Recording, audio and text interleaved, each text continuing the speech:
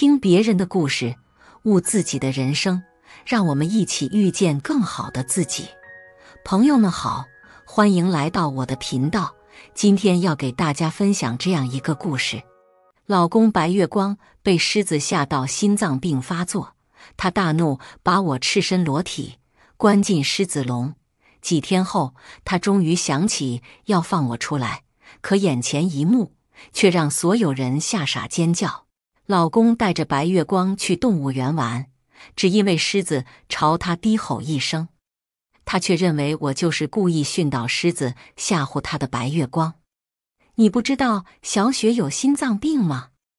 你还故意指挥狮子吓唬他，你怎么这么恶毒？你犯的错。我要让你加倍补偿小雪。他派人将我的双手双脚绑住，关在狮子笼里，还派人不准给狮子喂食。我哭着求他放过我。我告诉他，我只是个普通的饲养员，又怎么会训导狮子呢？他却冷冷一笑：“你跟狮子在一起这么久，怎么可能没有心灵感应？你一向就嫉妒他，自然是见不得他好。”他派人将我关在恶狮的笼子里，不允许任何人靠近。我撕心裂肺的求救声掩埋在狮子的阵阵嘶吼声中。几天后，他想起我来，想要把我放出来，可他不知道我的身体早已被狮子撕碎腐烂了。三天后，老公看着病床上悠悠转醒的白月光，激动的一把抱住她：“小雪，你终于醒了。”再不醒，我就要把那个贱人千刀万剐。阮雪柔柔弱弱的躺在顾北辰怀里，眼里满是委屈。顾北辰看了一下时间，轻轻蹙眉，吩咐一旁的秘书：“去把季离放出来吧，让他回家看看孩子，孩子想他了。晚上再让他继续进狮子笼受罚。”一旁的秘书擦了擦额头的汗：“顾顾总。”要不算了吧，夫人都在狮子笼里待了三天，我怕出什么意外呀。顾北辰冷哼一声，不以为意。三天而已，这是他应得的教训。如果不是他故意训导那些狮子吓唬小雪，我又怎么可能惩罚他？秘书颤抖着张开嘴，可是那头狮子都饿了好多天了。夫人只是一个手无缚鸡之力的女人。顾北辰低着头思索，眼里闪过一丝犹豫。突然，怀里的女孩轻轻捂着自己的胸口，表情难受的咳嗽两声。顾北辰连忙倒了杯水递过去，随后脸色愤怒，声音迅速冷淡：“你再去找一只狮子，也放进笼子里。我必须好好教训教训这个女人，看她以后还敢不敢害小雪。”秘书欲言又止，只能点点头应下来。秘书走后，顾北辰低头看着病床上的女人，眼里满是温柔。小雪，身体怎么样了？心脏还疼吗？你放心，你受到的惊吓我已经千倍万倍让那个女人偿还了。阮雪轻轻吐了吐舌头，满脸娇憨，不疼了，已经好多了。北辰哥哥。只要你一直陪着小雪，小雪什么都不怕。突然，他像是想起什么似的，一把穿上拖鞋，拉着顾北辰就要往外走。北辰哥哥，季姐姐被你关笼子了这么多天，会不会饿了呀？你快去把她放出来。都怪我身体太不中用了，竟然晕倒了这么久。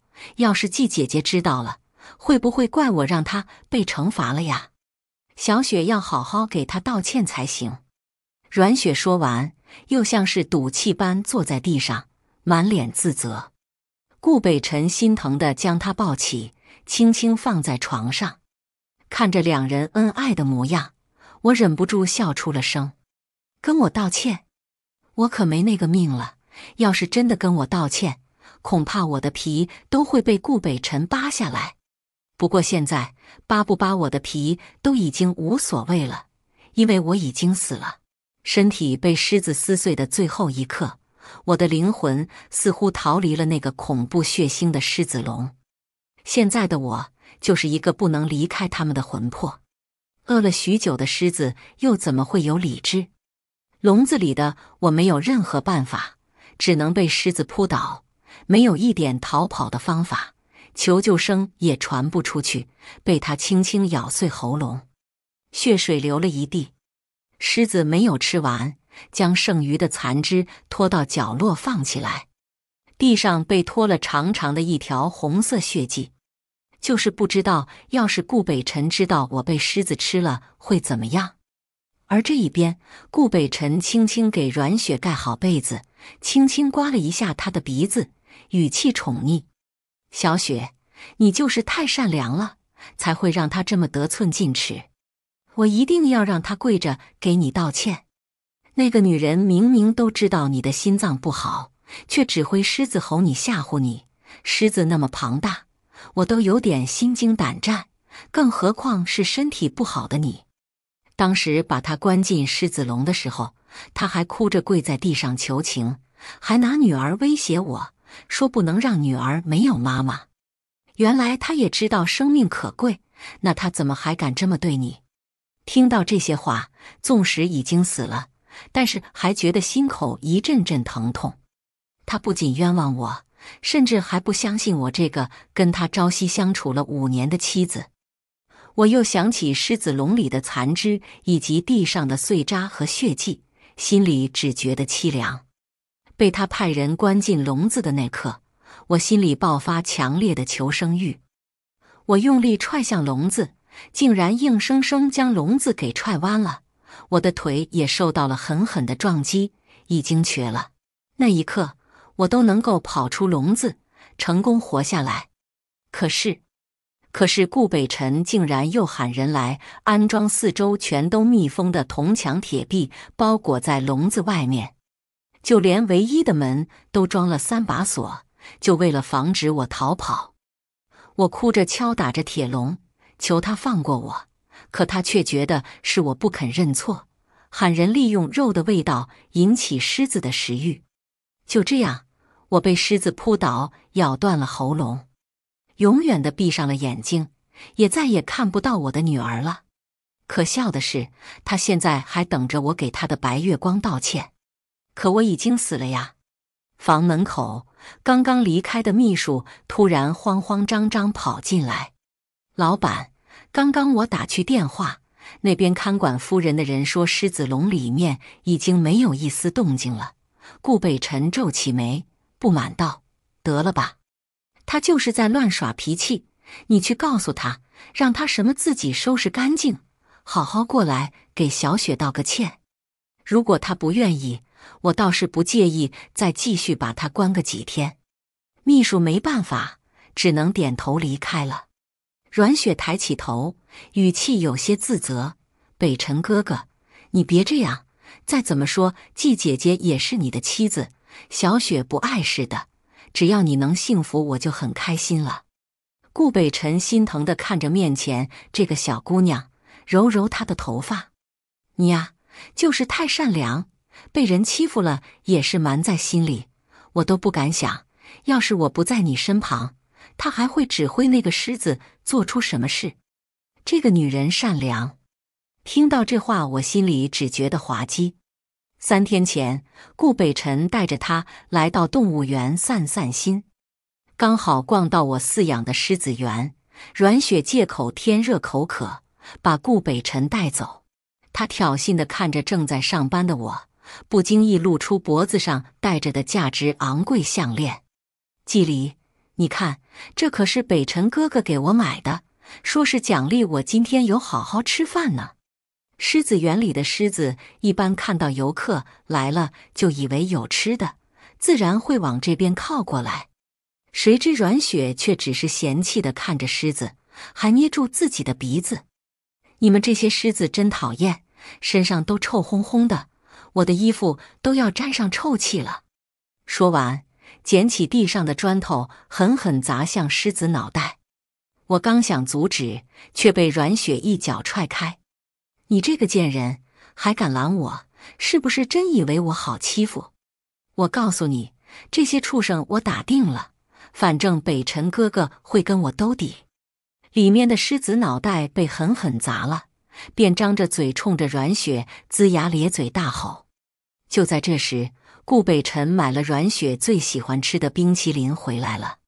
阮雪直接换了一副可怜兮兮的模样，哭着求顾北辰的庇护：“北辰哥哥，这个狮子好吓人，我不知道我做错了什么才会让季姐姐这么不开心。”说完，还翻了个白眼，假装晕倒过去。顾北辰怀里抱着阮雪，神情紧张：“小雪，小雪，你不要离开我。那时候我还觉得可笑，这明明就是装晕。”顾北辰怎么会看不出来呢？可是顾北辰偏偏信了，他派来人将我关进狮子的笼子里，不让人放我出来。你怎么这么恶毒，竟敢训导狮子吓唬小雪？你难道不知道小雪心脏不好吗？你这样对她，不怕自己遭报应吗？我告诉你，小雪受的苦，我要你千倍万倍偿还。我跪在地上求他不要这么对我。我说我会死的，他却抱着阮雪离开了，连一个眼神都没有给我留下。过了三天，他还想着让我给他的白月光道歉，只是恐怕不能如意了，因为我已经死了。就是不知道他知道真相的时候会是什么表情。顾北辰的嘴唇即将碰到阮雪的那一刻。急促的手机铃声便响起，老老板夫人，他他被狮子吃了。顾北辰听到这话时愣了一瞬，就在我以为他会动容的时候，他却笑出声：“王克，怎么，你也被他收买了？平时就爱耍一些小把戏，怎么这次还没学乖？他来这家动物园三年了，哪有那么容易死？”这些狮子可都是他一只一只喂养出来的，怎么可能会伤害他？要是真的死了，你就把拉去火葬场烧了，扔进垃圾桶，看他还装不装了。秘书从猫眼里看着狮子笼里惨不忍睹的场景，打了个战栗。老板，可是夫人真的够了。顾北辰不耐烦的打断了他要说的话：“我才是你的老板。”我怎么说你就怎么做，要是不愿意，你也不用干了。对不起，老板。秘书只能匆匆挂断电话。阮雪轻轻握住了顾北辰的手：“北辰哥哥，别生气了，姐姐可能就是不喜欢我，没关系的，大不了我就把你还给他。”顾北辰将阮雪搂在怀里：“小雪，你还是这么温柔善良，替人着想，你放心。”我既然是你的，就谁都抢不走。待会如果那个女人跟你求饶，你也不能轻易相信她，她就爱用谎话骗人。我真怕你又被她伤害了，毕竟你还是个单纯的小姑娘。原本我以为已经死了的我不会心疼了，可是听到自己爱了这么久的男人嘴里说出这种话，竟然还有一丝抽疼。明明。明明一开始就是他追求的我，我们大学是不同系的。他的篮球不小心砸到了我，却在看到我的时候愣住了。后来他朝我展开猛烈的攻势，后来我才知道他是顾家大少爷，但是心底却有一个出国的白月光。原本我是不想跟他扯上什么关系，毕竟我只是一个普通人，他是大家族的继承人。可是他却像疯了魔一般，每天早上都会给我带早餐，周末给我带奶茶，带我去电影院看电影。我也在相处中慢慢喜欢上了顾北辰。我问他为什么喜欢我，他说喜欢我的眼睛像星辰大海。后来，后来我在机场看到跟顾北辰紧紧抱在一起的那个女人时，我才知道。原来是因为我的眼睛像他出国多年的白月光，他也只是把我当做替身罢了。在一次因为阮雪跟顾北辰吵架的时候，他直接将我甩在高速公路上，扬言给我一个教训。我走了几十公里才回到家，却看到相拥在一起的两人。北辰哥哥，我现在回来了，只是我没有想到你已经结婚了，还有了孩子。或许我们就注定要错过吧。顾北辰一把抱住了佯装要离开的阮雪。不，小雪，你在国外的日子里，我无时无刻不想着你。我跟他在一起，也只是因为他像你。还好，现在你回来了，我找到你了。知道真相的我想要离开，却被顾北辰拦住了。他嘴里说着不想让孩子没有母亲，实际上只是害怕顾家股票因为这个跌落罢了。可是，凭什么就因为我跟他长得像，我就该当阮雪的替身吗？我就活该要忍受被这两人欺辱吗？心里的一口气憋得难受，却也没办法宣泄自己心里的情绪。顾北辰怀里抱着阮雪，脸上的表情却愈发阴沉起来。王克最近办事真是越来越不利索了，让他把季离带过来，怎么这么久都没有好？难不成要我们等他一个人吗？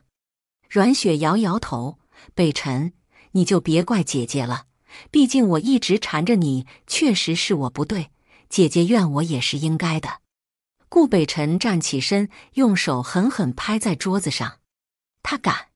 小雪，你先休息一会，我这就去把他绑过来，给你好好道歉。脾气真是越来越臭了，真是不知道跟谁学的。顾北辰起身来到狮子笼前，刚走到笼子口，就闻到一股腐烂的臭味。他迅速捂住鼻子，眉头皱成一团。怎么这么臭？你们到底在做什么？不知道把卫生好好收拾干净吗？秘书颤抖着身子，哆哆嗦嗦道：“老板，您还是自己看看吧。”门口的人全都让开，给顾北辰让开了一条路。我飘在顾北辰身后，看着狮子笼里面满地血迹，还有一些碎肉落在地上。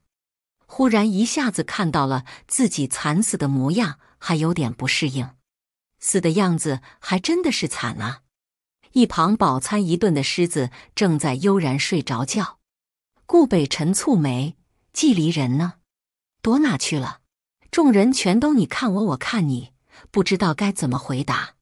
还是秘书走上前，指着狮子旁边被咬得面目全非的尸体：“老板，我们刚打开笼子，里面只有狮子和那些残余的身体，都说不出来了，因为大部分全都被啃食，那都只能被称作没吃完的肉。”他蹙眉，像是不明白秘书的意思，喊来人去里面把剩下的半个身子拿出来。半个身子全都被狮子啃食完。衣服也都碎成一片一片的，我的眼珠还在眼眶里突出，一看就能知道死前遭受了什么残忍的事。顾北辰被我的这副模样吓了一跳，竟直接摔倒在地上。这这是什么东西？我让你们找季礼，怎么给我找来一坨烂肉？是不是要我把你们全部开除？秘书没想到自家老板竟然不承认。只能咬咬牙，老板，这个就是夫人。顾北辰听到这话，目光突然阴沉至极，死死盯着面前的人。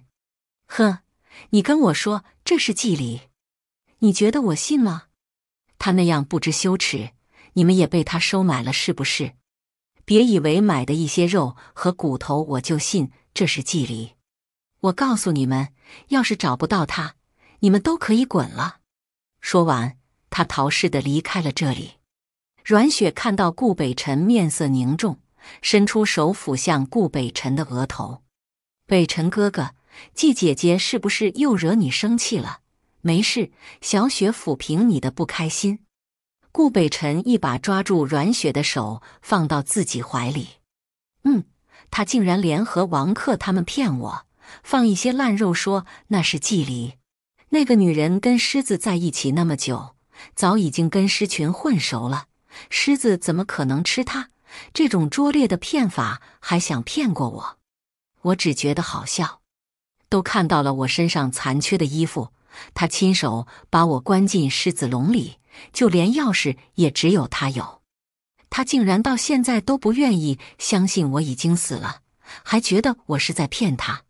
阮雪轻轻碰了一下顾北辰的嘴唇，小声道：“北辰哥哥，不要生气，姐姐也只是一时糊涂了。顾北辰被阮雪这么一挑拨，顿时失去了理智，疯狂地回吻着怀里的白月光。两人相拥在一起，躺在我结婚时最喜欢的床上，心里有些不甘心，但有什么办法呢？毕竟我已经是个死人了。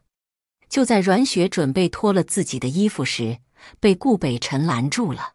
北辰哥哥，你不想要小雪吗？顾北辰满脸心疼。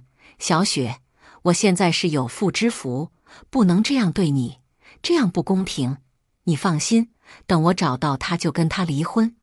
阮雪眼里闪过不甘，却也只好点点头。本来我也知道阮雪就是顾北辰的白月光，可是当我亲口听见他随意把跟我的婚姻当成儿戏的时候，心还是忍不住抽疼。原来他早就想跟我离婚。哪怕我一直陪在他的身旁，他却为了让自己的白月光不受委屈，能这么对我。可是，要是姐姐一直不肯出来怎么办？顾北辰冷笑：“既然她不肯出来，那我就逼她出来。”他宣布要跟阮雪结婚，两人的订婚消息在朋友圈里掀起大波澜。原本以为会得到一众好友的祝福，却发现根本不是的。顾总，怎么这么快又要订婚了？嫂子呢？顾北辰，小黎呢？你跟别的女的订婚，你怎么好意思？小黎前几天还跟我说要给你买礼物，怎么现在你就发了要跟别的女的结婚的消息？这是小三吧？其实，顾北辰之所以能有今天的地位，大多数时候都是因为我替他谈的业务和合作。他的好友有许多都是我们的共同好友，自然是不理解怎么会出现别的女人。阮雪一向被顾北辰宠上天，又怎么能允许别人骂自己小三？北辰哥哥，是不是姐姐在他们面前说了什么？小雪不是小三。既然这样，那小雪只有离开才好。顾北辰皱眉：“小雪，不要在意别人的看法，在我心里。”我的妻子永远都是你，阮雪哭着摇头。不，北辰哥哥，小雪想要得到别人的祝福。既然这样，那小雪只能离开了。说完，他猛地站起身，却又摔倒在顾北辰怀里。他捂着自己的胸口，一副难受的模样。北辰哥哥，我有点呼吸不过来了，好难受啊！北辰哥哥，我的心脏好疼啊！我是不是要死了？北辰哥哥，救救我！说完，他再一次昏死过去。顾北辰吓得连忙喊来私家医生。医生说，阮雪是怒火攻心才会晕倒的，情况危急，必须得换心脏才行。我在一旁清清楚楚的看到，阮雪早已经买通了这个私家医生，他根本就没有什么心脏病。顾北辰却不知道。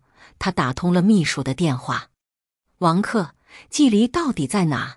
小雪心脏病犯了，必须得换心脏，你快把他找出来！我却只觉得心寒，没想到他竟然还想要我把心脏捐给阮雪。王克不知道该说什么，他不明白老板为什么就是不愿意承认夫人已经死了。电话那头沉默许久，他还是说出了那句话：“老板。”夫人已经死了，顾北辰狂奔到家里，他才不相信季离已经死了。试了几遍密码锁都没有打开，他记得密码好像是我的生日，但他又怎么记得我的生日？最后还是保姆给他开的门。他找遍了整栋屋子都没有找到我的身影，又冲进女儿如如的房间，如如正躺在床上。眨巴着大眼睛看着面前这个爸爸，哇哇，爸爸哇哇哇，看着女儿，眼眶有些酸涩。我伸出手想摸摸女儿的脑袋，却只能从她身上穿过去。先生，您在找什么？季离呢？他去哪了？顾北辰大声吼着，把保姆吓了一跳。先生，夫人三天前就没有回来了。我也不知道他去哪了呀。顾北辰嘴唇紧抿，眼睛死死盯着躺在床上的女儿，一步步朝他慢慢靠近。我心里突然有了不好的预感，挡在女儿身前，想要拦住她，但是却无能为力。先生，先生，你要做什么？保姆见顾北辰的状态不对劲，走上前想要抱走如入，却直接被顾北辰一脚踹开：“滚开！你们都在骗人，帮着季离骗人是不是？既然他不愿意给小雪捐心脏，那就让他心爱的女儿捐。季礼，我知道你肯定躲着，我再给你一次机会，不出来的话，那就永远都别想见到如如了。”但是没有人回应他。顾北辰彻底怒了，拿起桌子上的瓷娃娃，狠狠摔在地上。这是我们当时的定情礼物，如今被他当做垃圾一样扔在地上。他喊来医生，要取出茵茵的心脏捐给阮雪。病床上的女儿似乎是察觉到了什么，哭得都快喘不过气来。我只恨自己没有能力，要不然就应该掐死这个男人。这可是他的亲生女儿，他怎么能下得去手？就在这时，顾北辰的手机突然响起来，是秘书打来的电话。老板，刚刚动物园的园长给我打电话说，跟夫人关在一起的那头狮子是从国外引进来的，性格暴虐，而且还没有被驯服。听到这话，顾北辰的手机直接吓得掉在地上。他眼神涣散，嘴唇微微颤抖，半天说不出来话。良久，他出门坐上车就猛踩油门，一路上闯了好几个红灯，才终于到了目的地——狮子园。他停在笼子门口，犹豫再三，还是打开牢笼。里面的狮子已经换了地方，但是笼子却没有人清理干净，腐烂的肉招来了很多苍蝇。季离，要是让我知道你是在骗人，我要让你一辈子都见不到如如。他像是下定了决心，慢慢走过去。我的尸体正孤零零的摆在中间，脸上和大半个身子已经没有完好的肉了，剩下的部分也已经腐烂的面目全非。如果不是身上还穿着那件他送我的衣服，恐怕都没有人能认出我来吧。顾北辰却整个人愣住了，眼睛睁得大大的。不，这个肯定是假的模具，还想拿这个骗我是不是？真正的季离少了一根脚趾，你们别想糊弄我。还未说完的话卡在他的喉咙里说不出来，因为他已经发现了面前的这具尸体真的少了一根脚趾。他突然愤怒大吼：“季离，怎么可能？你怎么可能会死？”你故意的是不是？你想让我不好过是不是？我告诉你，你失败了。他的表情突然癫狂起来，赶走碎肉上的苍蝇，把肉拼在我的身上。你怎么能死？我不信，我不是故意的。这个狮子不是你该驯服的吗？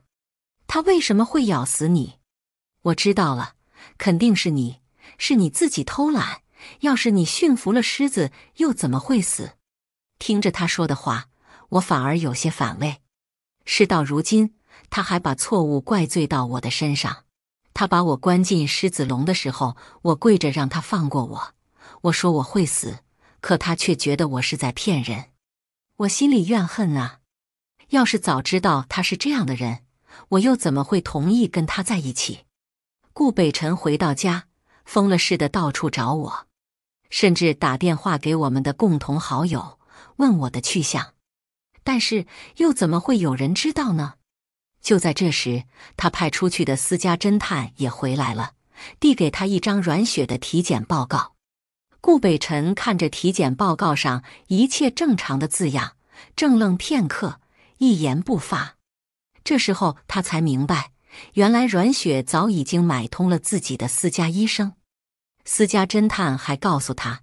原来阮雪之前出国是因为她跟国外的富豪在一块了，后来被富豪的老婆知道了，把他打个半死，他只能害怕的回国了。只是没想到顾北辰结了婚，心里也有他，自然而然就把他当做冤大头。侦探还说，原来当时是阮雪自己用石头狠狠砸向狮子，要不然狮子也不会朝他吼。顾北辰来到卧室，突然看到一个瓷娃娃落在地上，摔得粉碎。他疯了似的捡起地上的瓷片，把它拼凑好，连自己的手被划得鲜血淋漓都顾不上了。季离，我我到底做了什么？为了一个贱人就这么对你，我我真该死啊！这个是你自己亲手给我做的瓷娃娃，它怎么会碎？怎么会这样？一整晚，顾北辰坐在地上，想拼好手里碎了的瓷娃娃。却怎么都不能拼好，他待在黑暗中，任由黑暗淹没，眼泪一滴滴落下，最后竟然直接失声痛哭起来。还真稀奇，他顾北辰竟然也会为我哭。突然一阵大风吹过，窗外的闪电划破夜空，顾北辰的目光落在我的身上，他竟然看到我了。我的身体在他面前若隐若现。他却没有丝毫害怕，神情还有些兴奋。季离，真的是你吗？你回来了，我知道错了，我们和好吧。我冷笑一声，和好？你不知道我已经死了吗？被你害死的。顾北辰脸色惨白，举起手里拼好的娃娃，你看，这个娃娃我已经拼好了。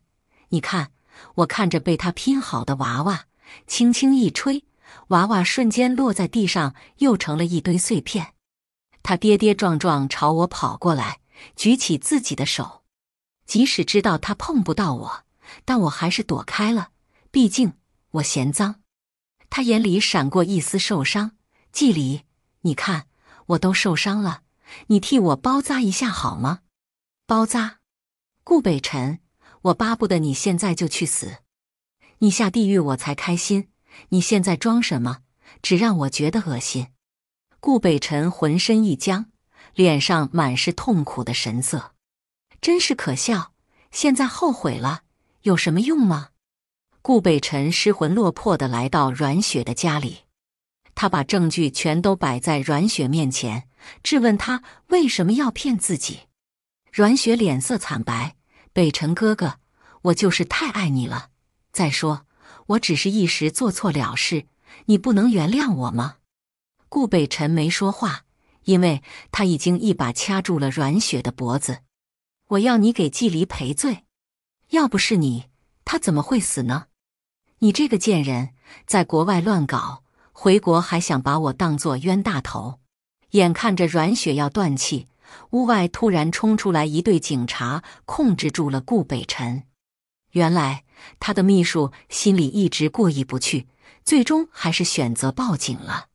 不过顾家有钱有权，自然是想办法把顾北辰放出来了。阮雪知道事情败露了，连夜坐上车买了出国的机票。她是真的害怕了，因为她能感觉到顾北辰是真的想要杀了自己。只是在去机场的路上，刹车突然失灵。连人带车直冲冲的掉进河里去了。当时正是凌晨，街上根本没有多少人。过了好几天，尸体才被发现。顾北辰得知阮雪死的时候，并没有多惊讶，因为那个刹车是他故意弄坏的。他早就知道了阮雪想要逃到国外去，自己自然不会放过他。你要下地狱给季离赔罪，你害死了他。顾北辰甚至找到了被收买的私家医生，拿出他这么多年被人收买的证据，发到他所在的医院里，彻底断了他的职业生涯。顾家的人得知这些消息时，迫不及待想要把顾北辰送出国外避避风头。但是就在出发的前一天晚上，他独自离开了顾家，一个人来到了狮子园。他孤身一人走进狮子笼里，狮子全都争先恐后的朝他跑过来，张开血盆大口。但顾北辰脸上一丝害怕都没有，他眼神看着我站着的方向，嘴里轻轻嗫嚅：“季离，我来陪你了。我没有看他，转身离去了。人死了，装什么深情？有用吗？我来到家里，看到保姆把女儿养得很好，白白胖胖的。得知保姆想要收养女儿的时候，心里也有些安心了，身体突然轻松了许多。我正想朝光亮的地方飞过去，突然听到身后有人叫我：“季离，季离，等等我，我来陪你了。”季离，季离，我们一起吧，下一辈子我一定好好对你。我一定不会负了你，我没有回头，我也不会回头了。接下来再给大家分享另一个故事。我跟老公李强结婚一年了，回想起我们相遇的那一刻，我依旧觉得那是命运的安排。我们俩是同一个学校的校友，他不认识我，但我可认识他，因为他是我暗恋多年的男生。那时候，李强刚刚经历了一场情感的暴风雨，他的初恋女友狠心的抛弃了他。我看得出来，他心情很低落，整个人都像丢了魂似的。那是一天下午，我刚好去咖啡店买咖啡，看到他一个人坐在窗边的位置上，眼神空洞的望着窗外。我不知道哪来的勇气，端着咖啡走了过去，假装偶遇。轻声问道：“这里没人吧？我可以坐吗？”他愣了一下，然后点了点头。我坐下后，试着挑起话题：“你看起来好像有什么心事。”李强惊讶的看了看我，当时我才感觉我有些冒昧了，不好意思，我只是感觉你看起来有些伤心的样子。没关系，你不想说可以不说。他叹了口气，语重心长地说：“是啊，最近遇到了一些感情问题。”他沉默了一会儿，然后开始了他的倾诉。他说了他和初恋女友的故事，说了他们是如何相爱，又是如何因为种种原因走向分手。他说的很平静，但我能感受到他内心的波澜。那你现在打算怎么办呢？我忍不住问。他苦笑着摇了摇头，我也不知道，感觉一切都失去了意义。我看着他，心里五味杂陈。我不知道该怎么安慰他，但我知道我不能就这样看着他沉沦下去。于是，我试着开导他：人生遇到这样的事情是很正常的，我也可以理解。可能你现在觉得有些走不出去，但是时间长了，慢慢的就好了。他听了我的话，若有所思地点了点头。从那以后，我们开始频繁的交流，他也慢慢的从阴霾中走了出来。随着时间的推移，我们的关系也越来越亲密。有一天，他突然对我说：“你知道吗？自从遇到你之后，我觉得生活又有了希望。你就像是我生命中的一道光，照亮了我前行的路。”听到这话，心里暖暖的，当然也有一些受宠若惊。我暗恋他的这个事情，只有我自己知道，而他现在居然也爱上了我，这让我着实没有想到。可能是我陪他度过了人生的低谷，也可能是无奈后的选择。当时我只顾着开心，没想那么多。不久后，我们决定结婚。我们的婚礼很简单。只邀请了亲朋好友，在婚礼上，李强拉着我的手，深情地说：“谢谢你走进我的生活，给了我重新开始的勇气。我会用一生来珍惜你，爱你。”那一刻，我泪流满面。婚后，我们两个人生了一个可爱的小男孩，我们给他取名为旺仔。我原以为生了儿子之后，我跟李强的感情会更加稳固，可谁知好景不长。当他的前女友回来后，我感觉到老公那颗原本平静的心又开始躁动起来。前女友的出现像是一块投入湖中的石头，打破了我们原本平静的生活。老公开始变得心不在焉，手机也频繁的响起。我尽量让自己冷静，但心中的不安却越来越强烈。一次，我无意间看到了老公和前女友的聊天记录，内容暧昧不清，就好像小夫妻之间的打闹。我心中五味杂陈，既有愤怒，也有失望。于是我开始与老公频繁的吵架，每次争吵都像是在我们之间划下一道裂痕，让我们的关系越来越紧张。你是不是还想着他？我在一次争吵中终于忍不住问出了口。李强沉默了一会儿，然后说：“你想多了，我只是觉得他一个人在外面很可怜，想帮帮他而已。”帮他？那你有没有想过我和儿子的感受？我大声质问道。李强没有说话，只是默默的低下了头。我知道他也在挣扎，也在矛盾，但是我无法接受他的这种态度。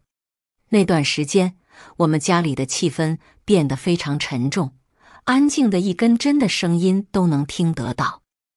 我能感受到他对我和儿子的态度越来越冷淡，回家的次数也越来越少，当然回家的时间也越来越晚。直到有一天，他竟然向我提出了离婚，想要跟他的初恋王晶晶复合。我无法接受这个残酷的现实，我坚决不同意离婚。你怎么能这么狠心？儿子还那么小。你忍心让他在一个不完整的家庭中长大吗？我哭着质问李强，他却只是沉默不语。每一次的争吵都让我们的关系更加紧张，每一次他的沉默都让我觉得心寒。就算我们俩离了婚，我也会带着儿子经常出去玩的，我不会让他缺父爱的，你放心。他信誓旦旦地向我保证。可他不知道我的心有多难受，我是不会跟你离婚的，你再提我就死给你看。那段时间，我整日以泪洗面，看着儿子无邪的笑脸，心中更是如刀割般疼痛。我无法想象，如果我们真的离婚了，儿子将会面临怎样的生活。那段时间，我每天的生活都浑浑噩噩的。经常性的丢东西，随时随地摔倒。那天天气还不错，旺仔闹着要出去玩，路上的车辆并不多，一切看似平常。突然，一辆失控的汽车冲向了人行道，我根本来不及反应，只听到一声巨响，我便失去了意识。醒来后，我第一时间想到了孩子。医生告诉我，儿子被送进了重症监护室。我挣扎着摸出手机，带着哭腔给老公打电话：“老公，我们出车祸了，旺仔的情况比我还要严重，你快来！”电话那头，他的声音听起来很遥远。我这才知道，他正在陪初恋过生日。我努力的让自己冷静下来。告诉他儿子情况不明，我求他快来见儿子，可是他居然说我在撒谎。你别再撒谎了，好好的怎么可能出车祸？你就是不想跟我离婚，也不能用这种理由吧？我现在还忙着，没有时间陪着你闹着玩。行了，要是没别的事，我就先挂了。我还听到王晶晶在旁边煽风点火。说我不应该这样无理取闹，张强肯定是骗你的，真会撒谎。他就是不想让我们在一起。那一刻，我感到前所未有的绝望和无助。我不知道用什么样的方法才能让他相信我说的话，我便把电话给婆婆打了过去，让婆婆通知她的儿子。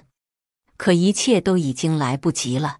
医生通知我，旺仔伤得太重，抢救无效死亡。我跪在地上哭着闹着，让肇事司机赔给我儿子，可是没有人理我。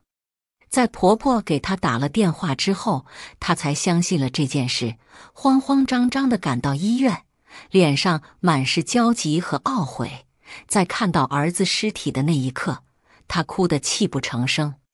他愣住了，眼中满是震惊和悔恨。他跪在儿子面前，放声痛哭，不断的自责和捶打自己。我站在一旁，冷冷的看着他。这个我曾经深爱的男人，在我最需要他的时候，没有给我任何支持，反而避重就轻。现在又来哭什么呢？他的悔恨和自责，能换回我的儿子吗？我不知道该怎么面对这一切。我只知道。我的心已经死了，从此以后，我们之间的感情彻底结束了。而就在这个时候，王晶晶也跟着出现在了医院门口。她显然没想到会在这里遇到如此惨烈的场景，脸上露出惊愕和惶恐的神情。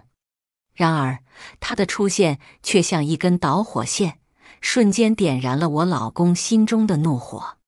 对不起。我没想到是真的，我不是故意拦着他的，你要相信我。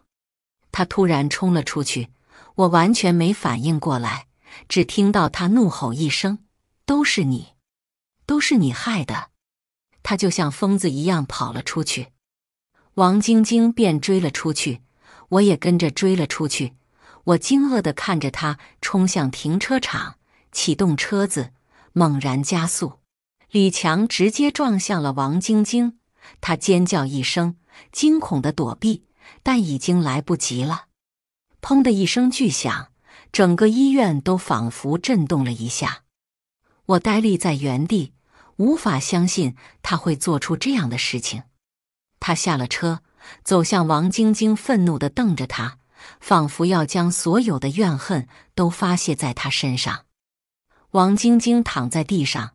痛苦的呻吟着，我无法判断他的伤势如何，但我知道情况肯定很严重。我连忙拨打幺二零，我冲上前去，拉住他的胳膊，怒吼道：“你疯了吗？你这样做会毁了自己的！”他猛地甩开我的手，满脸泪痕的吼道：“对不起，真的对不起，我不知道你说的是真的，我对不起我儿子。”我恨不得杀了他！我惊愕的看着他，心如刀绞，失望和痛苦涌上心头。我冷冷的说道：“你早干什么去了？我告诉你，儿子出事了，你不相信我，说我在撒谎。现在你又来了这么一出发疯的闹剧，你觉得这样有用吗？”他泪流满面，泣不成声的求我原谅：“对不起，真的对不起。”我知道我错了，我不该怀疑你，更不该冲动的做出这种事，请你原谅我，给我一次机会好吗？我看着他哭闹的样子，内心一阵烦躁。我深吸了一口气，努力让自己冷静下来。你现在哭哭闹闹有什么用？你还是去处理你的事情吧。你要记住，我儿子是因为你死了。我永远都不会原谅你。为什么死的不是你？你死上千次百次，也换不回我儿子。我跪倒在地上，哭得上气不接下气。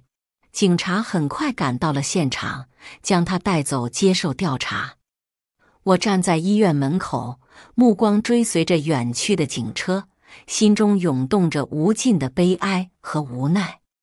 这场突如其来的变故犹如一场梦魇，让我觉得我没办法继续活下去。之前曾经以为我们有着坚实的感情基础，可以携手共度任何困难，但此刻我才知道我的想法有多愚蠢。我真的想陪着儿子就这样走了，可我不能，我还有父母要照顾。我想儿子也不愿意看见我这样的。每想起儿子生前的笑容和欢声笑语，我就感到心如刀绞。我知道这个过程会很艰难，每一步都充满了挑战和未知。我还要替旺仔讨回公道，让那些伤害他的人统统都下地狱。我需要振作起来，为了儿子，也为了自己。我要努力走出这段阴影。去寻找新的生活意义和价值。今天的故事就分享到这里，愿你的每一天都充满阳光和欢笑，每一步都走得坚定而有力，让过去的成为美好回忆，未来的充满无限可能。祝你幸福安康，万事如意。同时，欢迎您留言、订阅、分享，我们下期再见。